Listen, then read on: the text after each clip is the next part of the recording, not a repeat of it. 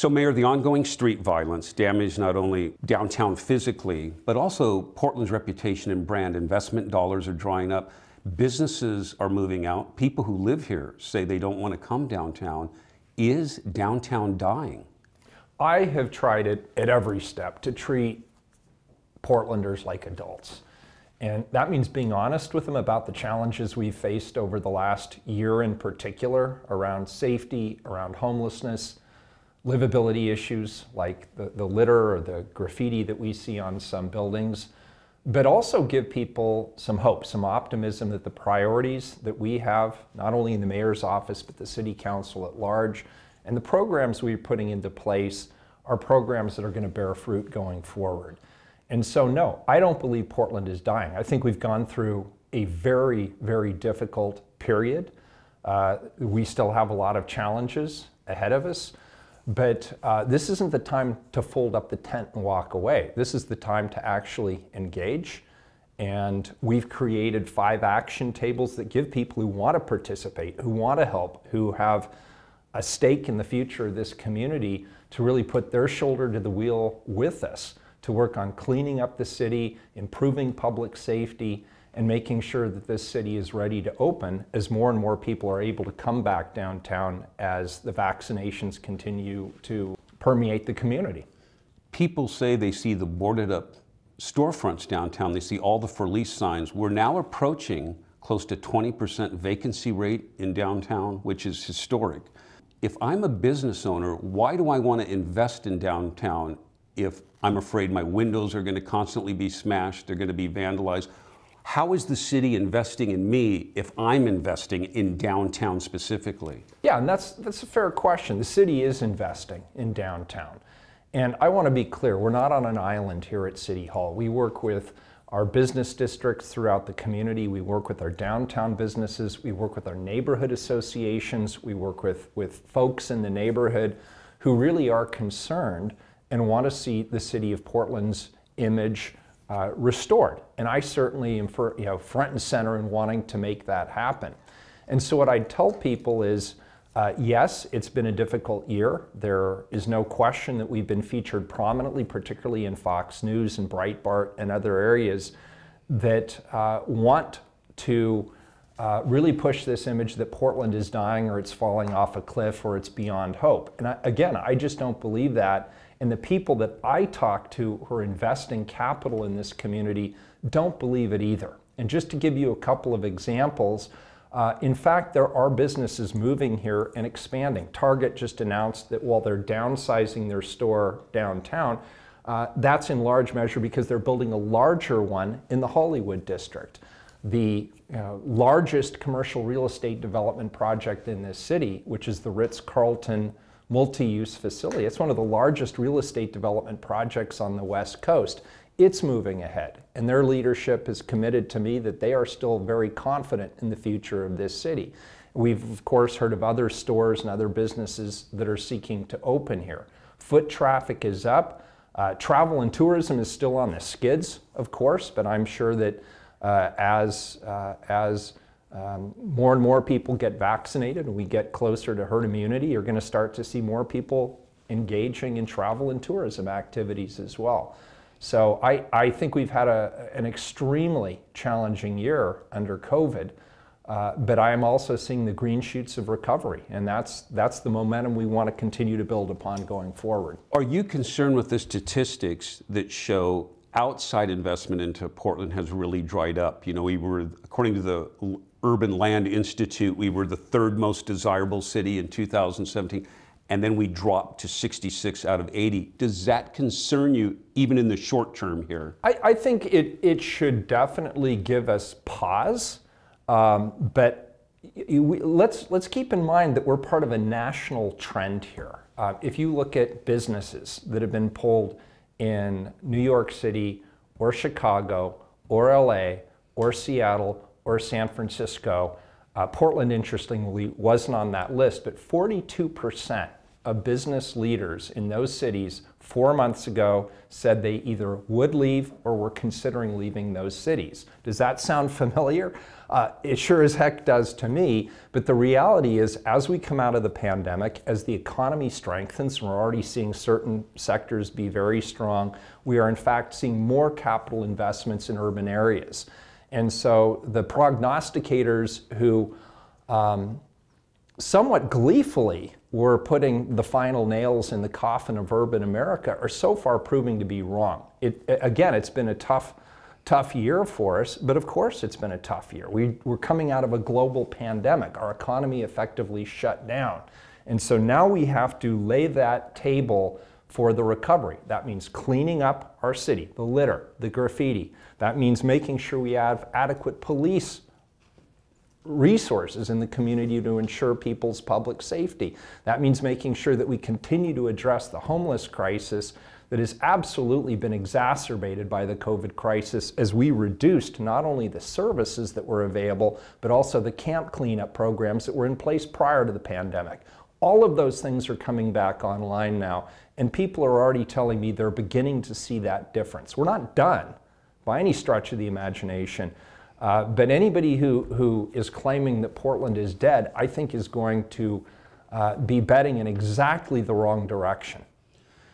This is the more sensitive question. Everyone we talk to, business leaders, those that support you, and uh, building owners in, in downtown, all said during the height of the protest, there was a void of leadership, a lack of leadership, not just from you, but from the entire city council and that you didn't move with a stronger hand to condemn the violence sooner and the destruction sooner. How do you answer those critics? I completely disagree.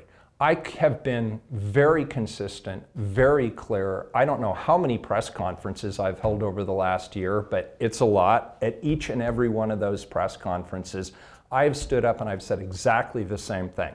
I've said I support the right to nonviolent demonstration. I understand why people are angry and frustrated and traumatized by the deaths of black men like George Floyd and more recently uh, Daunte Wright. I understand why people are traumatized by that. I understand why people are taking to the streets and demanding racial justice and social equity and common sense police reform. I get that. But I've also been very, very clear that when the line gets crossed and it leads to criminal destruction or violence. I've been very clear that is not protest.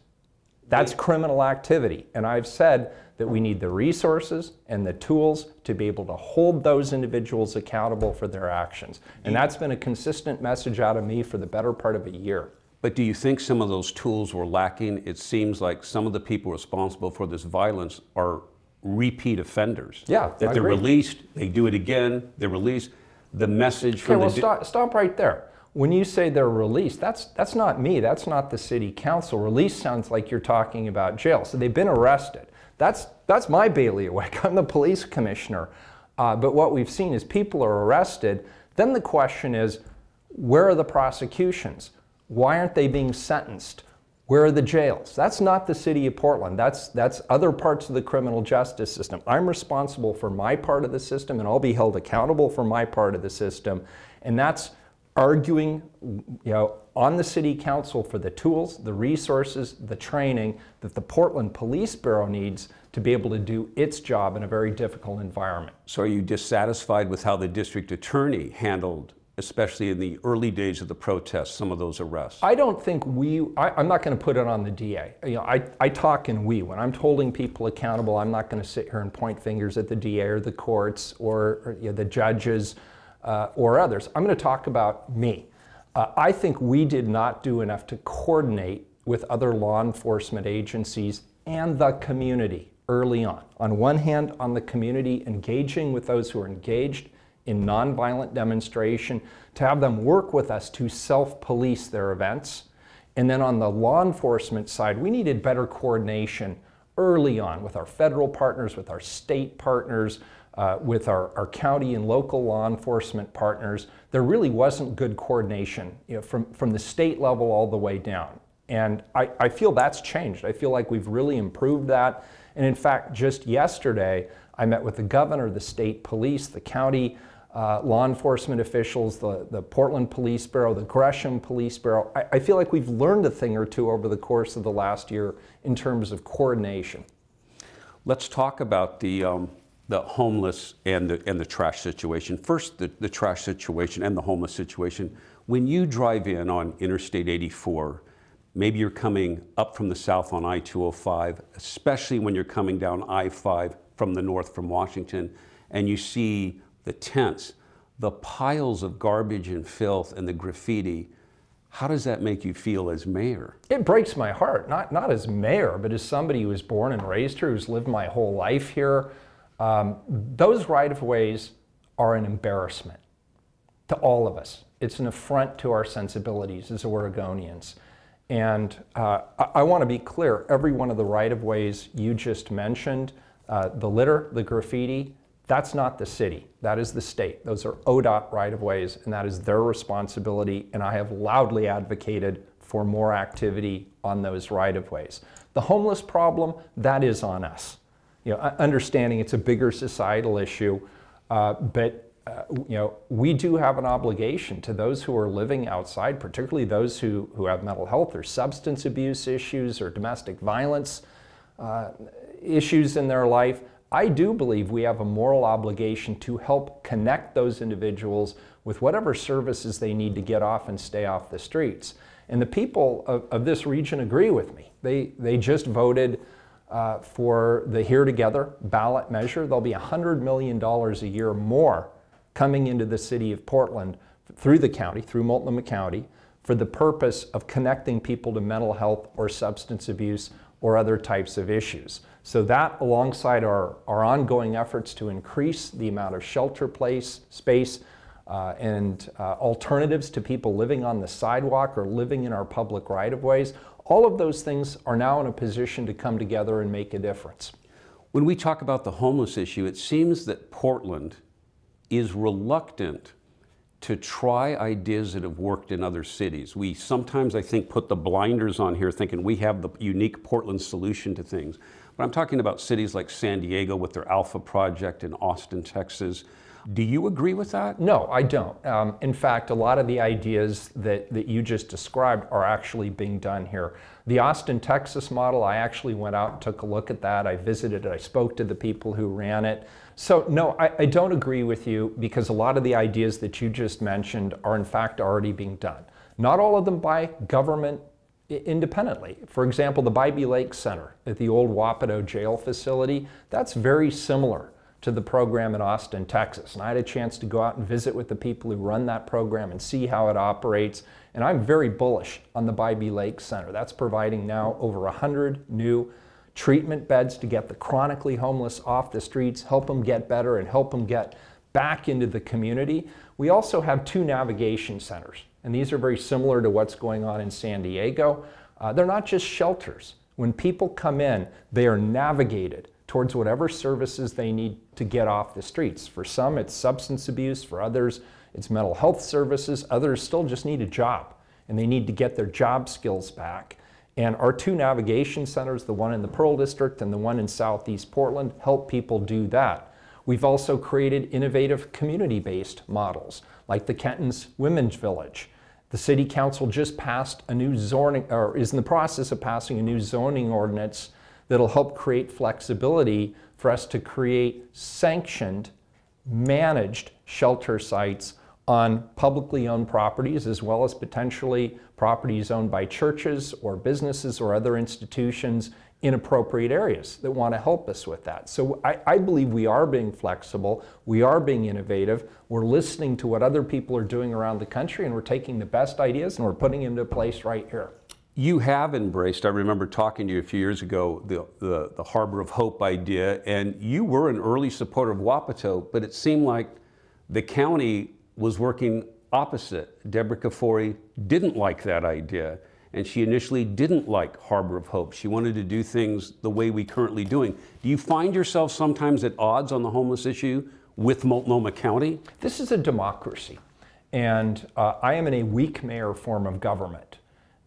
You know, I, I have 20% of the votes on this city council, And when it comes to issues like homelessness, uh, it, it's not just the city, it's the county, it's the metro government, it's the state government. And so there's a lot of collaboration and a lot of give and take that has to happen there.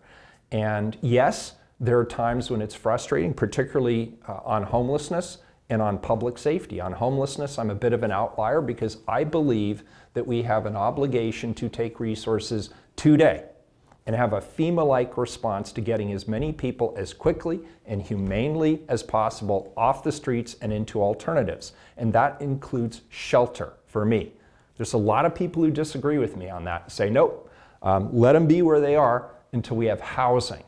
But that could be years after they die of exposure on the streets or die as a result of not being connected to services like mental health or substance abuse services. So that's an ongoing tension that, that we have in this community. Uh, there's also the question of camp remediation. This is one of the most controversial issues around homelessness in our community.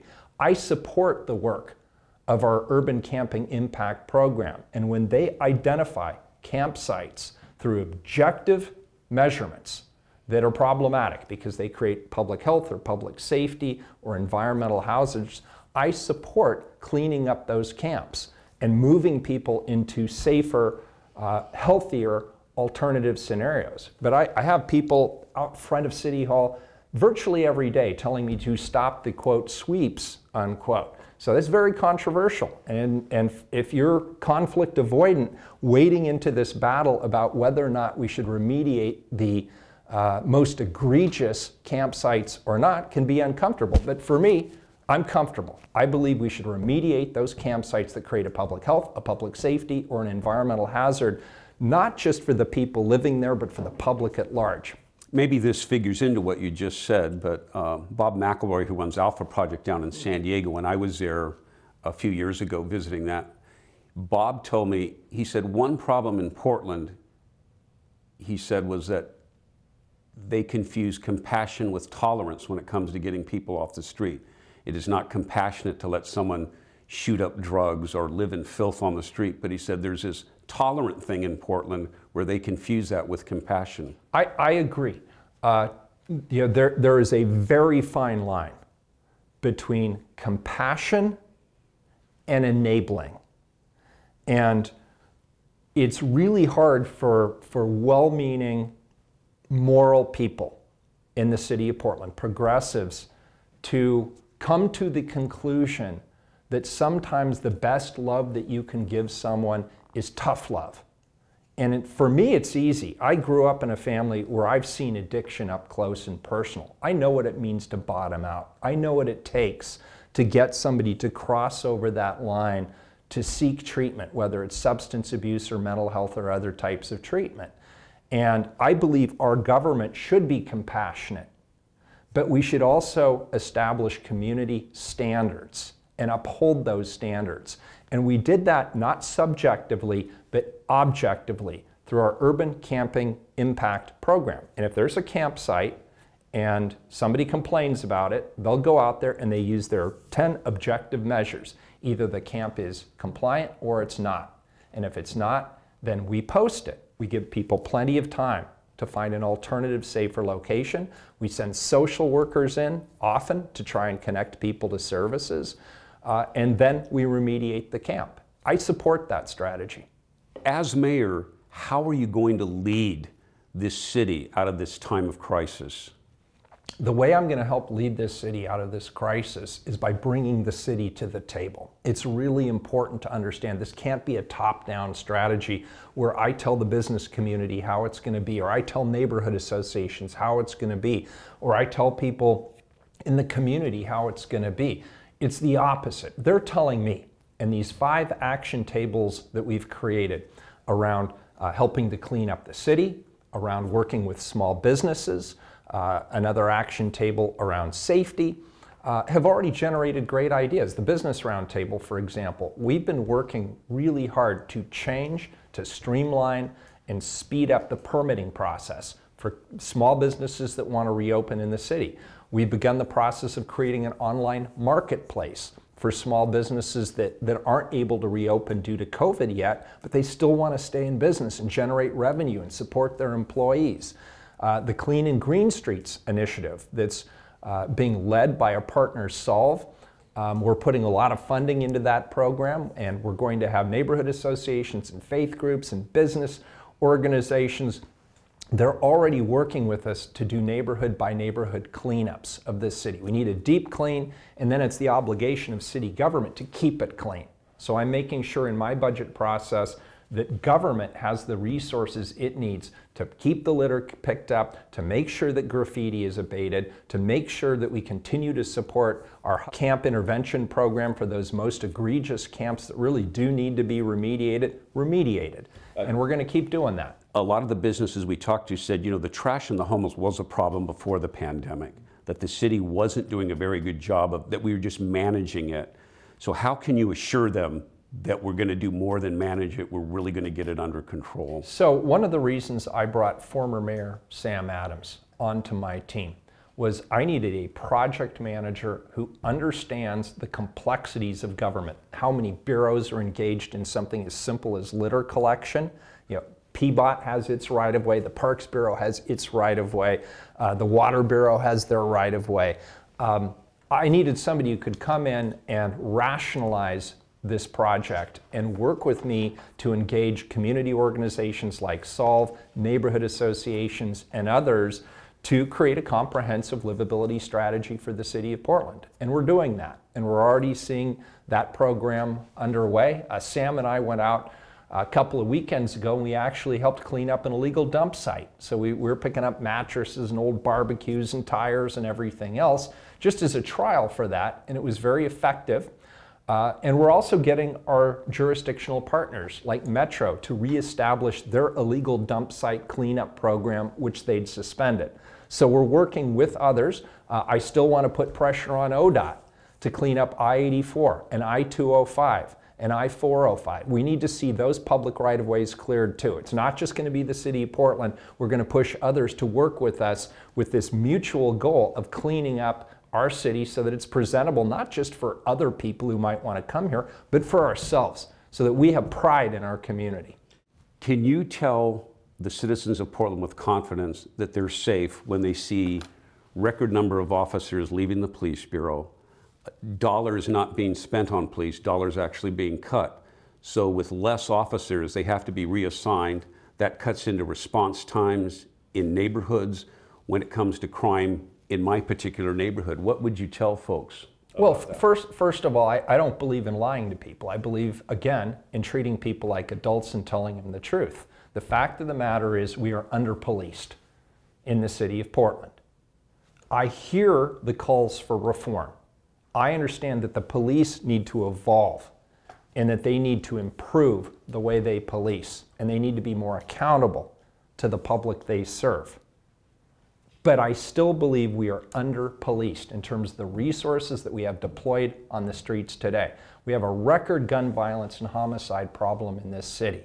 And I was not able to get additional dollars to support my focused intervention team that will work to disrupt those cycles of violence, that will be engaged in proactive activities to address gun violence. Uh, I had to find those resources internally, which is fine. I will prove to my colleagues on the City Council that we can do this program and be accountable and have community oversight, that we will be transparent in our collection of data. But when it comes to getting dollars for police officers in Portland, it is an uphill battle. I will not lie to you. But I'm going to keep fighting for it because I believe that ultimately will ensure the public safety. That's also you know, alongside efforts we're doing to figure out where the police shouldn't be involved. We funded the, the Portland Street response because the police aren't necessarily the right people to show up for a mental health crisis. So let's fund the Portland Street response, which pairs uh, an EMT and a social worker who can go out there and de-escalate situations and navigate people towards services. And in our parks, we don't necessarily necessarily need police officers, armed trained officers. We can have four, uh, park rangers do that work instead. And I stood up what was called the Public Safety Support Specialist Program in the Portland Police Bureau. They are unarmed police officers who can do a lot of the ambassadorial work and administrative work that currently police officers are doing, even though they're already in limited supply in this community. So we're going to be better, we're going to be smarter, we're going to be more accountable in terms of how we serve this public.